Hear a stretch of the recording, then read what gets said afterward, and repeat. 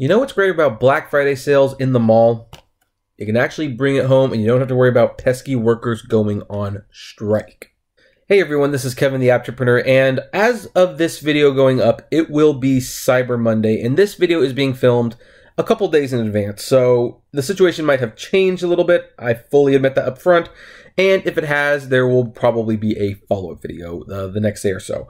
But Amazon employees are definitely sick and tired of poor working conditions.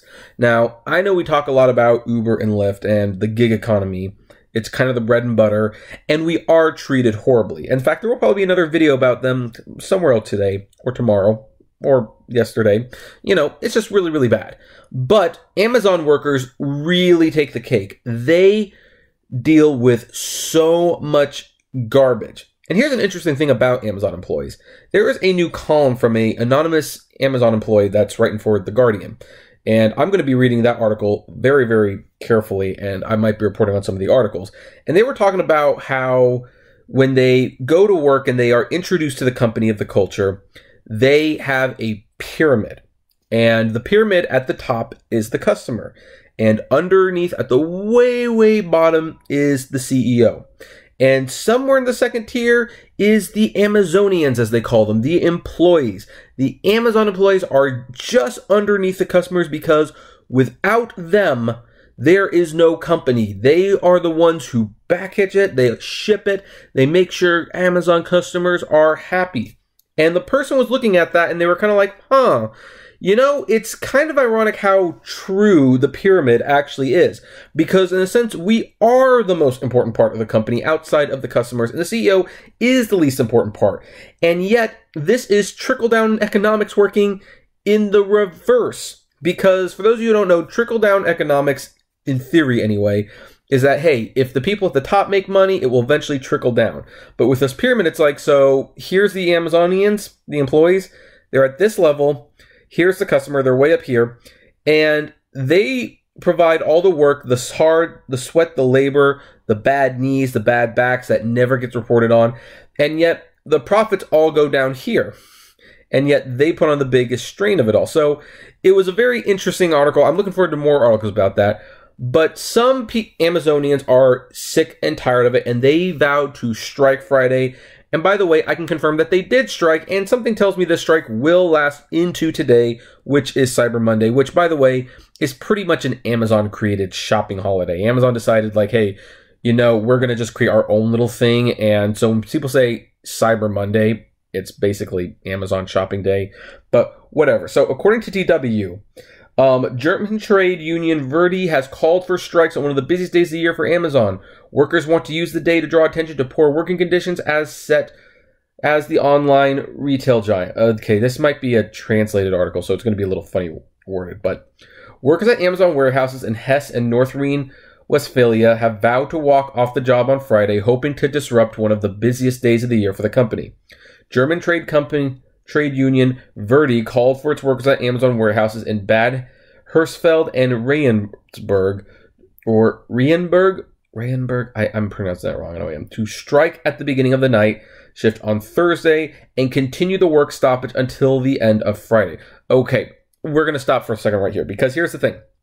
People always say, well, if you take one day off Uber and Lyft, you will hit them hard. You will hit their pockets. And I've always felt this is a fallacy. I mean, it would be as Wilson Fisk from Daredevil slash Spider Man. I've been playing the Spider Man game, and he plays a prominent role. Says after Spider Man takes down all of his operations and he's in jail and he can't set the operations again until he's out of jail. And Spider Man says, Well, looks like I have ruined your, your, um, oh, I've ruined your empire. I have ruined your method of operation, and Wilson Fisk says, You have inconvenienced me, and for that I will remember. That's one of the problems. You have done nothing but inconvenience the companies. Now, no, don't get me wrong. Not working on Black Friday, that is a huge inconvenience to Amazon, a huge inconvenience. But when you decide to strike for one day and then you go back to work, it's just that it's an inconvenience. Amazon knows you're coming back to work and the stuff will be a day late. And they might have to give like $2 coupons to the people whose stuff was late. Now, granted, that's again, that's a lot of money, especially all the people who buy from Amazon, but it's not how should I put this?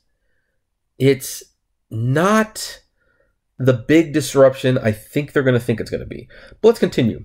Friday is a major sale day for retailers, particularly Amazon, with shoppers looking for deals on the American inspired shopping day known as Black Friday. Union Secretary Mechthild Miedeke, I think that's how you pronounce it, said the end of the year rush is the most stressful time for employees, which is not lying demanding longer long hours of overtime. Employees are particularly important on a day like Black Friday. The commitment of the employees must be better rewarded by a higher salary and by collective collectively agreed Christmas bonus, she said. So you see, this is definitely about the bonus, which I reported on. Amazon said that they were raising minimum wage. They were raising, I think, looks like they might be either raising wages overseas or maybe they just don't give bonuses out overseas in general, but the bonus has been a big sticking point for Amazonians who are not going to get it this year. So keep that in mind when you buy your IT 4K uh, discs from Amazon. Four years of strike action. Silk Zimmer, head of the Verdi Regional Trade Department in North Rhine-Westphalia, said the Black Friday discount campaign was detrimental to the workers. Quote, employees currently have to fill up the shelves for the Christmas business as well as send thousands of Black Friday offers. This results in a lot of overtime, which is paid much worse than in the case with companies subject to collective bargaining. In such condi- conditions, the absence of a collective bargaining agreement becomes painfully clear, as Zimmer explained.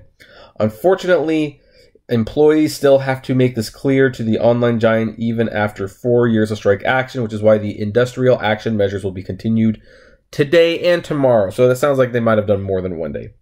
For years, Verdi has fought for a collective bargaining agreement for Amazon employees and for them to be paid according to the retail and mail order rates. Amazon have so far rejected Verdi's demands, which of course they're going to do. So anyway, that's what Amazon looks like in Germany. So yeah, uh, as you probably figured out, I will not be shopping on Cyber Monday. Uh, granted, I bought enough stuff on Black Friday that Cyber Monday would really be indulging. I just got like three gifts left to get people. I did the vast majority on Black Friday. I mean, heck, if I'm going to be out there, you know, in those lines with those with everyone, I'm going to get as much of the Christmas shopping done as humanly possible, and I did.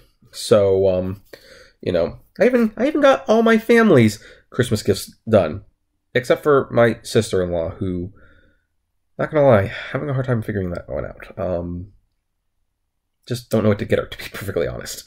Um, but I will not be shopping on Cyber Monday. Obviously, none of my purchases were from Amazon. But of course, the irony is the, the yearly irony for me, of course, is that I update my Amazon wish list because that is the most convenient way to let people know what I would like. But I always send them the list and say, oh, by the way, it'd be nice if you didn't buy this from Amazon. But anyway, good for the employees for striking, though. I mean, seriously, good for them. I wish Uber drivers had a, as much discipline even to do it for one day. Because here's the thing: Well, I think you need to strike for more than one day, I think I'd say strike the whole weekend. Strike the whole weekend. Make an entire weekend full worth of orders just you know backlogged and do some real harm to the company. Don't go back to work till Tuesday or heck Wednesday. Let's stretch it till Wednesday because then they have back orders of Black Friday and Cyber Monday, and a pissed customer is one that doesn't come back, and that's what Amazon wants to avoid as per their pyramid chart. But you know what? A day strike, that's better than what most Uber and Lyft drivers will do. So, what do you folks think? Do you think this is going to work? Do you agree with this? Do you disagree? I would love to know. So, comment below, like, favorite, share, subscribe. If you enjoy my videos, consider becoming a Patreon member. It's totally optional, of course, but even those $1 a month goes a long way to helping the channel run smoothly. And as always, flame responsibly. Have a good one. And uh, yeah, support, buy from your local stores, support the local economy.